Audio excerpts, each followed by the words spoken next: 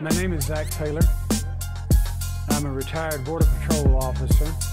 My main job was understanding and having intelligence capabilities about drug smuggling across the U.S. border. From the day I joined Task Force 160 at Fort Campbell, Kentucky, until today, I've seen nothing but government corruption. It is almost as if the virus was planted in those three cities to infect that population. It We is can be almost ready. as if the virus was planted in those three cities to infect that population. Not only did I, of course, research the Illuminati and come up with the answer there, but these people kept calling me from around the country. They've been calling me now for 22 years. What disease they have been diagnosed with. We know it's communicable.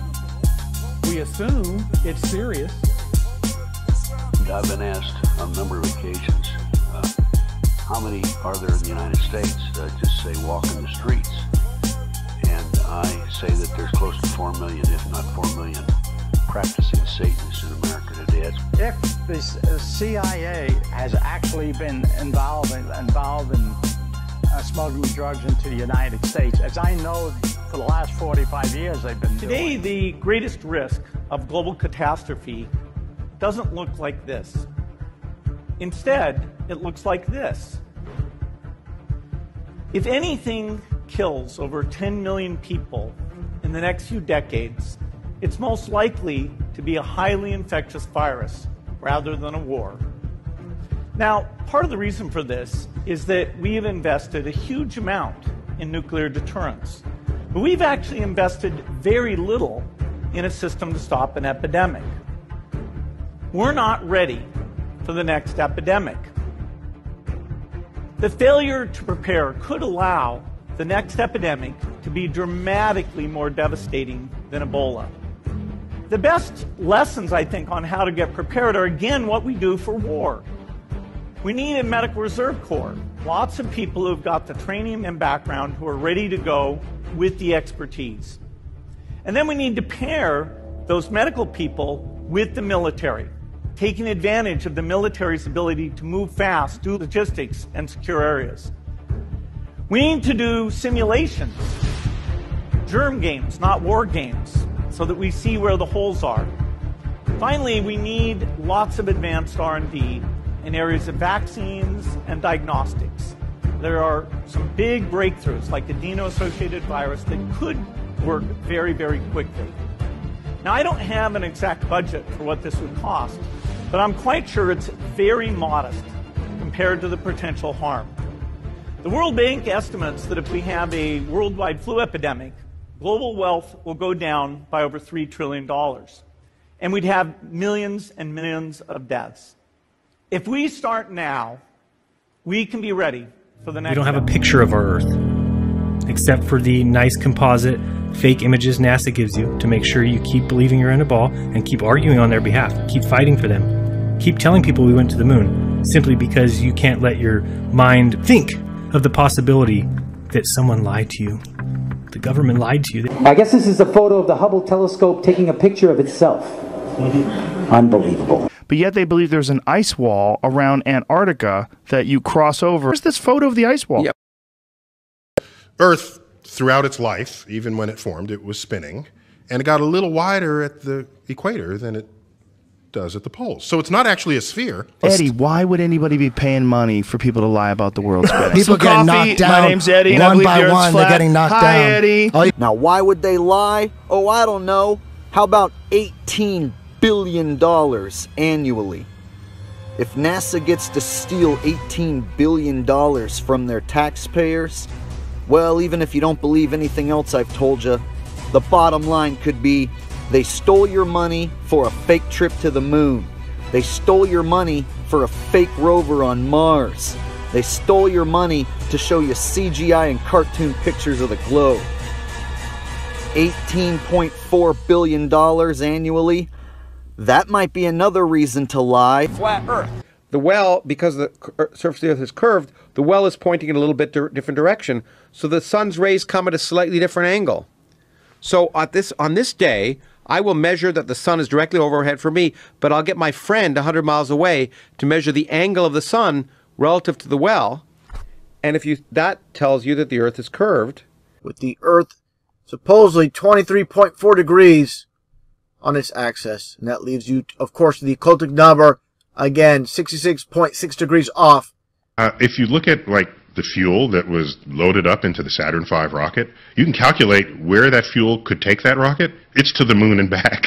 so it's they're not going to the Piggly Wiggly, right? Yeah. In the Saturn V. Do you guys all agree that Nikola Tesla was a, a great scientist? Oh, he was a For genius. sure, right? He was a genius, but you got to remember that fan. Nikola Tesla lived in a, a world where he was so far ahead of the curve, and there's very few people that were able to compete with him or even understand what he was Did you- doing. this is just a fact. You can take it or leave it. Put in Albert Einstein hoax fraud. Endless videos. It's Oh, Albert was a freak. Yeah. endless, fr- but it endless doesn't- videos. And like, wait a minute, isn't Albert? Wasn't Albert Einstein Time Magazine's Man of the Century? Well, yeah, his deep- Te- oh, Tesla Edison was a direct and. Einstein were alive and kicking at the same time. Tesla. There's quotes. The quotes could be bullshit. you know, but there's Tesla quotes of the comes from several decades crushing before Einstein, Einstein, though. clowning him in Wasn't public. He? thought Einstein was a fraud. Tesla was a big fan of experiments. Einstein was a big fan of equations. Today's scientists have substituted mathematics for experiments, and they wander off through equation after equation and eventually build a structure which has no relation to reality.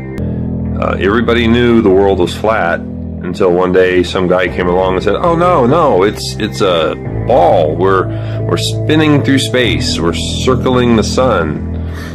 A lie is a lie."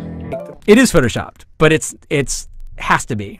to be to destinations beyond Earth orbit. Right now, we only can fly in Earth orbit. Right now, we only can fly in Earth orbit. Right now, we only can fly in Earth orbit. Astronauts looking at the Earth uh, see a curved Earth, but what they don't realize is, is that it's not the Earth that's curved, it's the light taking a curved path from the Earth because of the strong gravitational field of the Earth that makes the Earth look curved. This is basically the biggest thing you could possibly lie about.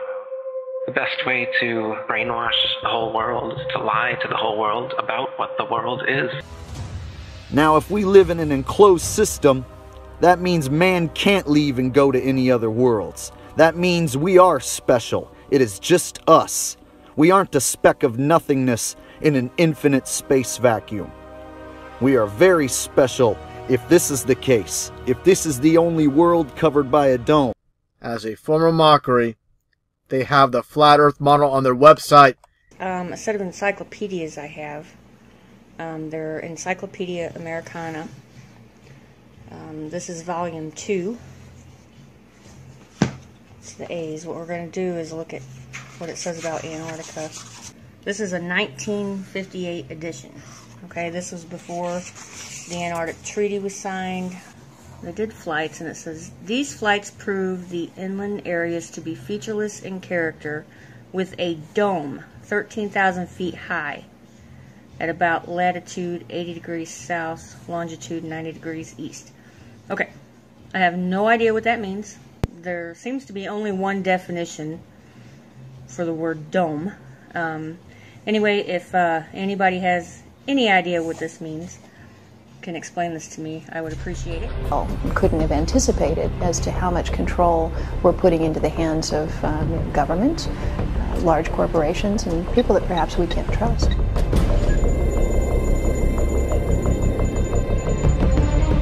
Orchestrating crisis.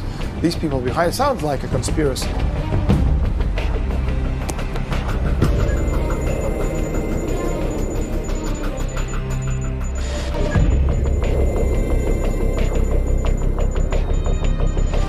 The power company actually gives you a thermostat for free, installs it in your home for free, charges you nothing for it, but there's a catch. And the catch is to get this high-tech, fancy thermostat, you have to allow them, in the event of um, you know excessive power consumption, to reach into So, one of the basic things about using a computer on the internet is that your communications pass through the networks of various internet service providers, starting with the internet service provider that you are a customer of, and going through possibly several others, and then ending up at your destination. And each of those entities, technically, has the ability to look at all your communications and to record all your communications. How'd you sleep? Good. How about you? Coffee's on. One of the most alarming trends has been the increased centralization. You are buying all sorts of stuff. That means the consumer credit folks will have you. I guarantee you that many of these other database holders have files on you. Many, many more entities have wanted to know well, what kind of a person are you?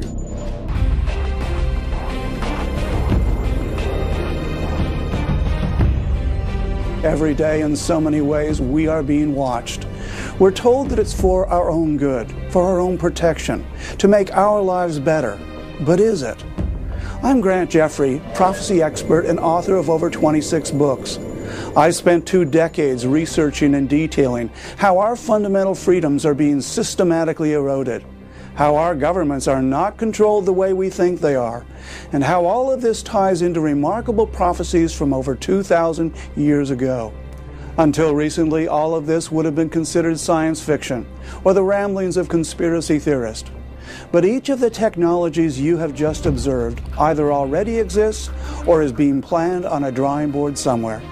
The evidence is all around us. There is no denying that we live in a surveillance society. And really, no matter what we do, there is no turning back. is really unprecedented. And it's not just in the United States that they're doing this. We actually found some documentation that this is part of a global effort um, that is uh, being promoted by the UN, by their statistics department. Uh, right now, we're we're the most surveilled society in you know in, in history. Obviously, uh, this this has gone into high gear. In November of 2008, there was um, a, an effort by Google to, to show that they were able to pinpoint a disease outbreak, a flu outbreak, before the Centers for Disease Control could do that, based on their sophisticated algorithm that they could tell that the person doing those searches had the flu. They were searching for chest congestion or thermometer or certain types of medication, cold or flu medication. And whenever one of those keywords would be entered into Google, they would, uh, it, it would, it would set off a red flag. They would pinpoint that person's location based on their internet service provider, and then they would put a red dot on a map. But when you log on to Google to look something up, you don't do so with the expectation that Google is going to be capturing your information, studying you, and handing that information over to the federal government. So I think a lot of people found it very, very invasive. And what it raises is the potential for Google or really any other internet uh, service that you use to turn over other sorts of information. You know, who, who, who's concerned about abortion rights, or who's a Democrat, or who's a Republican, or who is, um, you know, who, who has an interest in the Second Amendment. The reasons for surveillance and the need for better surveillance systems are compelling. If you want to keep track of your pets or children, or livestock or possessions, you can now put ID tracking devices on them. If you want to make sure employees are working the way they should, you can now monitor them. If you want to protect citizens from thieves, con artists, drug dealers, hate mongers, pedophiles, terrorists, and basically anyone and everyone who's a threat to society, you can now track, monitor, and scrutinize them. If you can save lives and protect property, why wouldn't you? And if you yourself are engaged in unsocial or illegal actions, your rights to privacy should be taken away. Those are compelling arguments. You take the cash away and you create credit cards and then you create microchips. What you're doing is suddenly, you know, we become the whim of the powerful people. They can punish us by pressing delete three times on the computer screen. Suddenly $10,000 turns into $10. One of the most important developments in the, this privacy area that's come with the digital revolution is that Orwell's picture of loss of privacy, the government watching us, the surveillance cameras everywhere, certainly is true to some degree. There are surveillance cameras everywhere.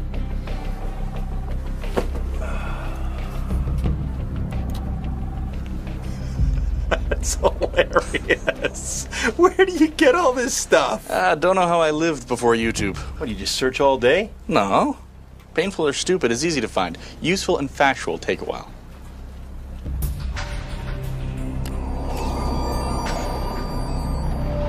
Employers, law enforcement agencies, stores, insurance and credit companies, hospitals, and the government would all argue that their surveillance is necessary. They'd also all state that individual surveillance and data systems are not invasive and pose no threat of creating personal profiles or a data shadow.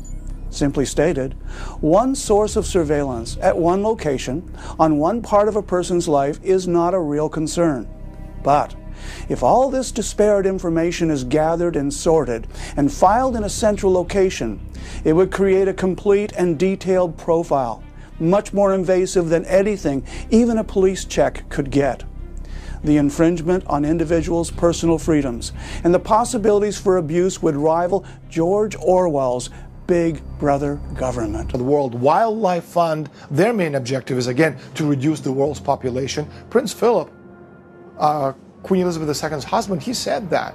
He said, if I ever came back, you know, reincarnated, I come back as a deadly virus. Well, of course he would, because that's what these people are into, into destroying the world society. Now, that's how one can begin to understand the real goals of the We can be Agenda ready. 21 Sustainable Development UN Global Plan.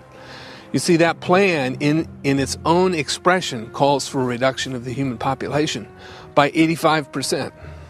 So you begin to wonder how it is we can survive in this country when our resources are taken and put off limits for our use, whether it's you know mi- mining resources or timber resources, um, food resources, etc. Now, if we were to remove half of this country's land mass from productive human use, it's only a matter of time before human population can be begins to fall. But when we understand that that's the plan of the United Nations, we can begin to put this in a perspective that we need to be putting it in. He thinks that he's uh, doing the right thing for the most number of people by advocating that we kill off some of them because there's just too darn many of them. I believe the whole concept of, of population control and diminishing the world's population to a place where uh, we can sustain development uh, and bringing it below 1 billion is, is setting the stage for mass persecution down the road. What if people actually buy into that idea that much of the world has to be eliminated in order for those who are left to be able to continue to function? You're, you're going to see more wars, more famines, more disease. Some of this intentionally spread to reduce the population of mankind.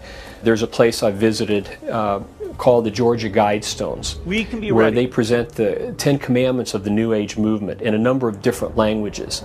And one of the commandments calls for the reduction of the population of mankind down to a fraction of what it is right now. So a thinking, intelligent person should be asking, can be how are they going to achieve that? If that is one of their goals and they're going to work toward that goal, then who are the victims going to be and, and how are they going to choose who lives and dies? The Bible says that in the last be ready. days, the government of the Antichrist rests on three pillars. The first is a global government, the second is a global, uh, global economy, but the third is a global religion. The people at the forefront of this one world movement, generally speaking, are extremely anti Jewish and anti Christian. And they want to bring together all the religions of the world and unify them for, for a specific purpose, which is to put a leadership figure in power that would rule the world. And the Bible warns us of, these kinds of developments in the, in the last days. You know, that in the last days people will heap to themselves teachers having itching ears. Then they'll be turned unto fables because they want to hear what they want to hear, not what is necessarily true. You know, and, and, and we're, we're living in a generation now where truth is, uh, it, it, it has become like, it's subjective. I mean, there, there can be two versions of the truth. You voted for parties. What more could you do?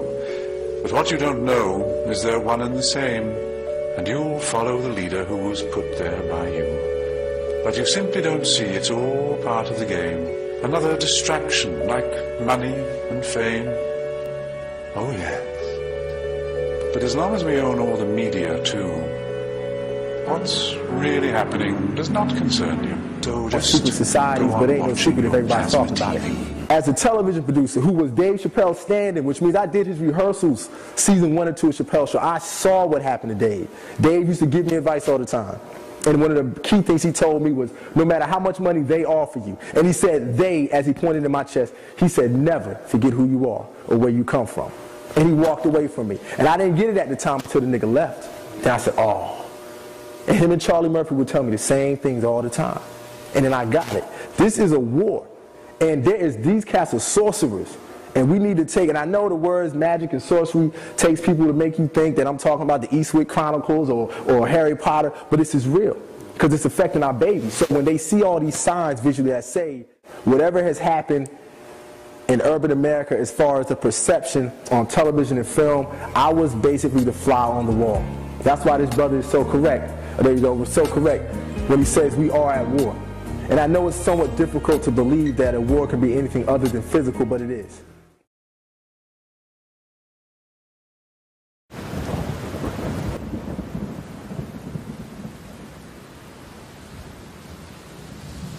Disney World looks like a whole fun bunch of rides, but what we actually have here are a number of rides that are sponsored by military industrial corporations. Happiest place on earth, my snow white ass. Walt Disney was hired by J. Edgar Hoover to, to instill mind pattern programming into the children. It was an FBI plan. It was it was instigated. To really um, appreciate how this could be done, need to appreciate something called trauma-based mind control.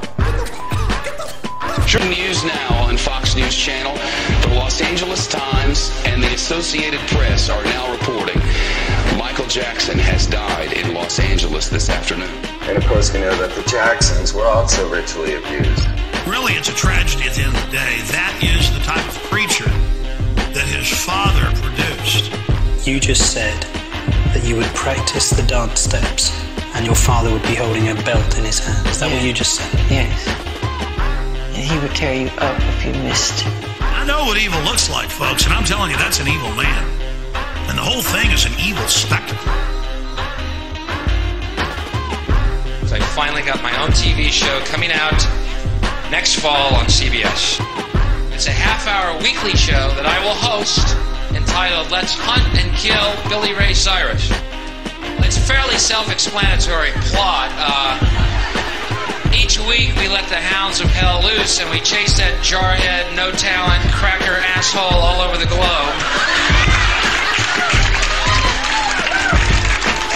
Until I finally catch that fruity little ponytail of his in the back, pull him to his knees, put a shotgun in his mouth like a big black cock of death.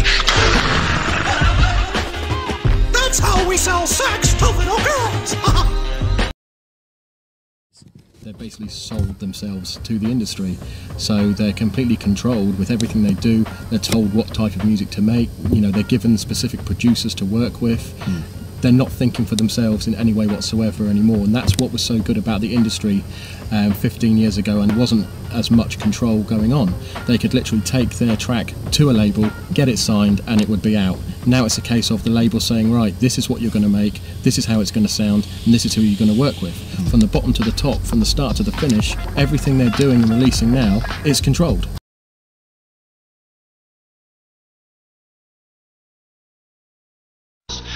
Escute bem, com o nível de bruxaria, satanismo, pornografia e espiritismo nos vídeos da Disney. Eu somente lhe vou dizer alguns nesta noite porque o tempo não permite, porque eu quero que a sua casa seja livre como a nossa casa foi livre.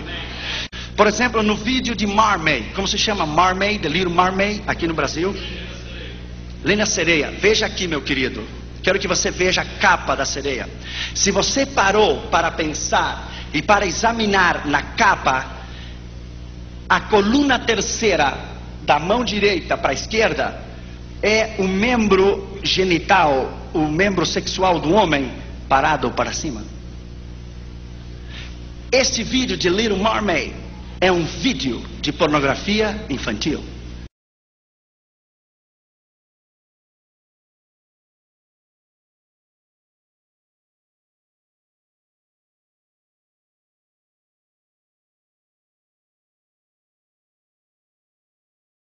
Detrás da música, onde diz Kiss the Girl, Kiss the Girl, beije a moça, beija a moça, há um grupo jamaicano falando palavras africanas para amaldiçoar a cada criança que está escutando o vídeo.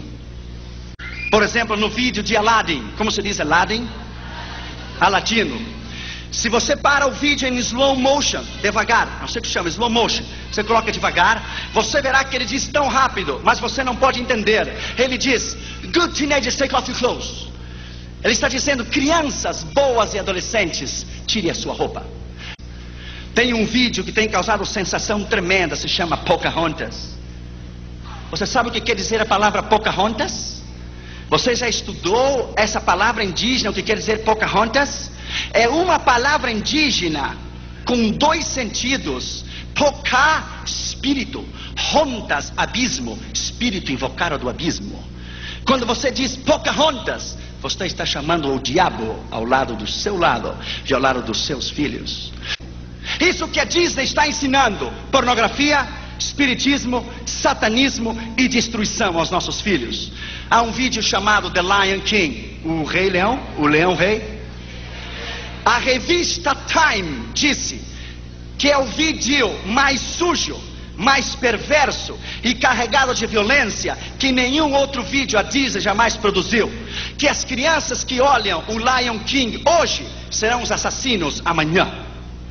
Você sabe quem produziu o vídeo de Lion King? Foi um homem homossexual que já morreu de uh, AIDS, AIDS, em Nova York. Se chamou John Smith. Ele que criou, segundo o filme, o leão que caminha afeminado. Onde é que você viu um leão afeminado? A música do Lion King é da nova era de Shirley MacLaine. Por isso as crianças ficam vidradas, porque a música é uma música do inferno, é uma música dedicada ao demônio. E se você para o vídeo de Lion King, o, o Rei Leão, o Leão Rei, em slow motion, quando ele pega com as patas no chão e os, as partículas do pó que se levantam no meio da televisão, forma a palavra sex. S-E-X, sexo.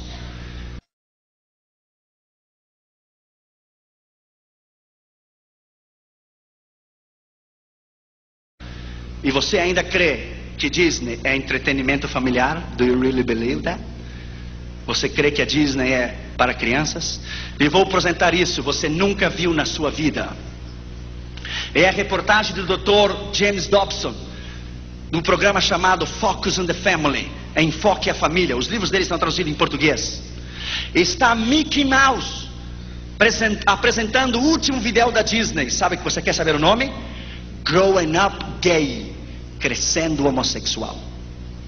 Agora a Disney criou dois Mickey Mouse homossexuais e duas Minnie Mouse lésbicas. Aqui nesse vídeo de Growing Up Gay, o porta-voz da Disney convida a todos os adolescentes homens a explorar o maravilhoso mundo da homossexualidade. Isso é Disney.